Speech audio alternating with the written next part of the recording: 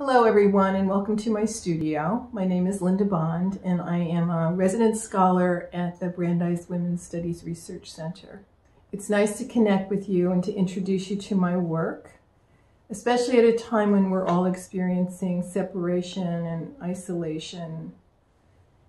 I'm pretty fortunate to have a studio attached to my home, so I find it to be a consistent place uh, of refuge and joy and a place where I can work and find some silence in the midst of what's going on. So maybe we'll begin with a, a little quick look around the space, which uh, this meeting has inspired me to tidy up a bit. But uh, you'll see a variety of things. Um, the walls contain finished work, work that's in process, some things that are well resolved, other things that are still, I'm still thinking about. But I use a lot of uh, variety of media. So sometimes I work with messy things like gunpowder and graphite. Other times I'm making handmade paper. So I need to have um, different workspaces in the studio for over two decades, the content of my artwork has addressed issues of social concern.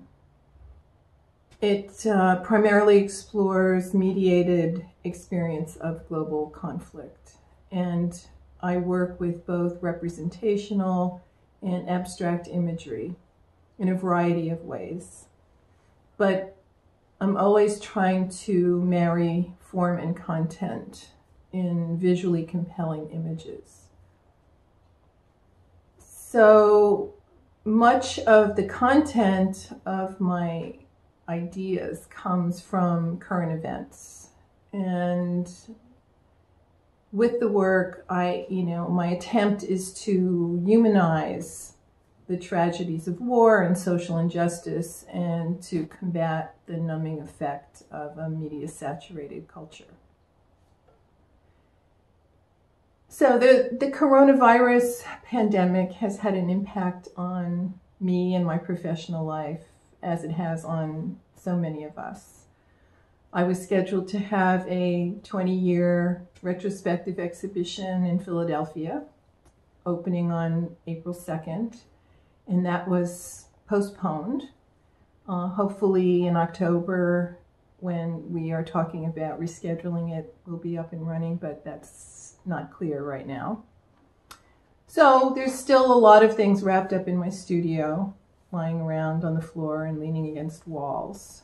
Um, and so we'll take a little virtual tour. I thought that might be a good idea of the exhibition. I have a, a scaled model that um, has work curated in it and it's a 3,500 square foot gallery space.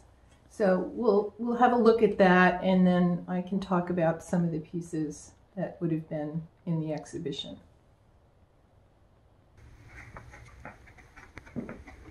So this is a model of the uh, exhibition space where I was um, going to be showing a number of uh, installation projects and videos and drawings.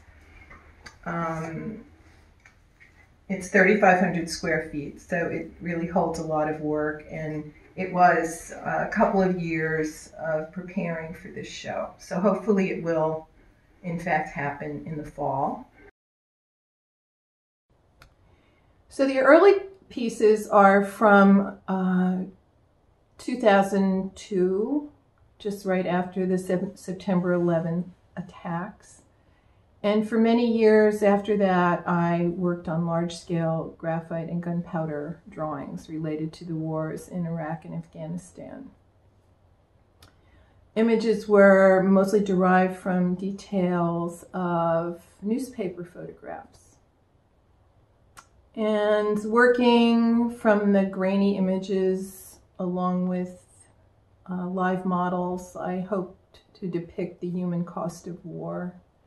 Um, as the conflicts continued and the casualties grew, I began a project of counting the, the estimated 130,000 fatalities. So using wet gunpowder and vintage gauze bandages, I made fingerprints on yards of fabric to mark the lost lives. And this, this was the first of several installation projects that attempted to quantify an abstraction of large numbers. So others uh, like that, one is entitled Shadow War, and that consists of 440 unique pieces, and those that number is counting the uh, United States clandestine drone strikes in Pakistan since uh, 2004. Another large project, which um, was partially funded by a Kickstarter campaign, attempted to capture the magnitude of a cache of 190,000 US weapons that were lost in Iraq. And so with my with these individually printed inventory cards that are hung and then dispersed to viewers, I try to I guess I try to understand the way that something of this quantity can be managed and, and controlled. This work is, is kind of difficult uh, subject matter, and, and so part of my reading and research about, you know, what, you know, what can we do to think about a more peaceful way of going about living as, as human beings and one thing I came upon that was pretty profound uh, was the idea of women's education and how their contributions to, especially, you know, difficult uh, places in the world could be of help. So in 2012, while I was at the um, beginning as a scholar at the Women's Studies Research Center, I began working with women in Afghanistan on a several year project. And they made some work for me, and I paid them a small wage. And it culminated in four large built structures that I've been exhibiting. And uh, the structures are adorned with materials that have come from my, my Afghan partners and um, things that my uh, studio assistants and my husband have helped with, including a hand embroidered uh, Dari language sam sampler and a video projection and other um, materials uh, that speak to the importance of women's education. So that was my first collaborative experience. And then I've been making some more longer videos with my, my husband, who is a, a video producer. And the first of those um, was a project I did with a woman who was at the Heller School at Brandeis um, and had managed to leave Syria with her husband and young child and um, was trying to uh, get a, a, seeking asylum in the United States. So her story inspired a series of monoprint collages that I did in 2016 and a 50 minute video that Rick and I made together. And that video tells her story in her own words and was shown uh, in its complete 50 minute uh, version at the Human Rights Institute Gallery at Kean University in 2018.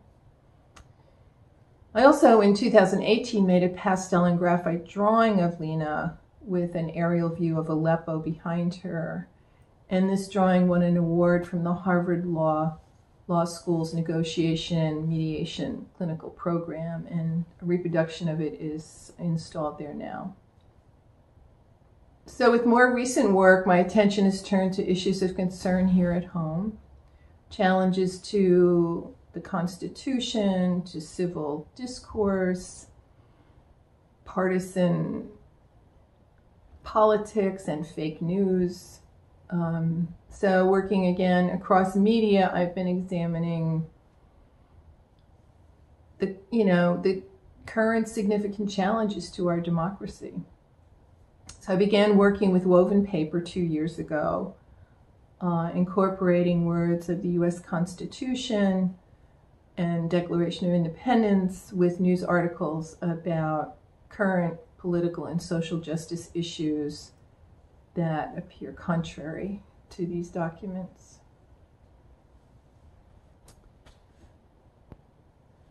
So one of my most recent finished pieces, uh, which is hanging in tiers behind me, um, was meant to be uh, installed in Philadelphia. And it, when it's hung the way it should be, it'll be um, more linear installation with overlapping uh, panes. And this um, directly confronts the politics of immigration. So I, I, made it by shredding news articles about migrants, deportations, U.S. refugee camps, and family separation at the border and I made eight and a half by 11 sheets with uh, the paper pulp. And they hang together, creating a kind of fragile barrier that's easily penetrated, un unlike the complexity of uh, the conditions they refer to. So the last piece uh, I'll mention, uh, and it was to premiere as well in the Drexel show um, in Philadelphia is a 20 minute, 20 second video animation created again in collaboration with my husband Rick. Uh, it's derived from my reading of the full Mueller report, which I felt compelled to do. And while I was reading and highlighting, um, I decided to pull out uh, pieces of information and the redacted elements. And those bits, along with names mentioned in the report, sort of move in and out and flow across uh, this background of the 448 pages of the report. So I thought I'd show you a short clip of that piece um, so you have an idea of, of what I'm talking about.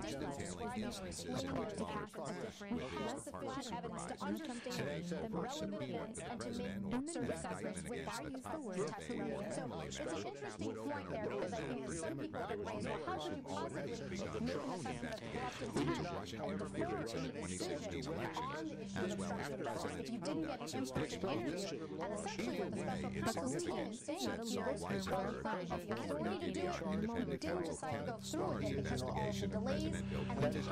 Assuming Mueller doesn't indict anybody, Trump will be able to say this guy wasn't at all from going anywhere he wanted to go. So I think the special counsel, on the other hand, Wisenberg added, if he was kept going somewhere, that's a big deal too. The Democrats make a big deal out of that. I think it's important.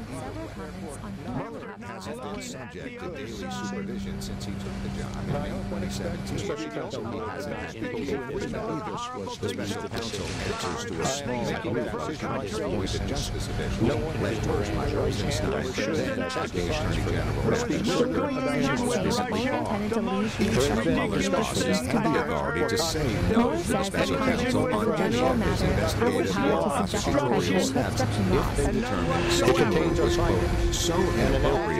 or unwarranted that it crossed established we chose those words carefully, and the work speaks for itself.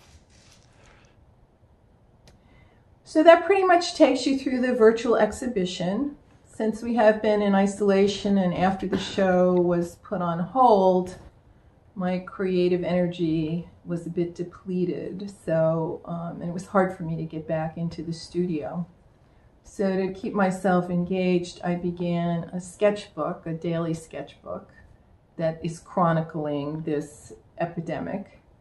And um, it's helped me get back to new studio projects.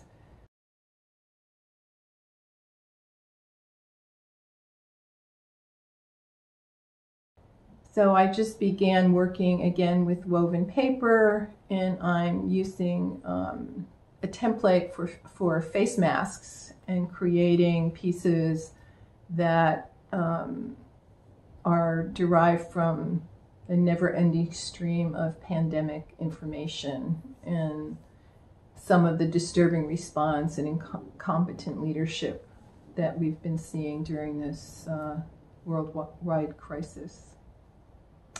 So, thank you very much for coming, and I'll be happy to answer any questions or listen to your feedback on the Facebook Live section that will follow this, um, this program.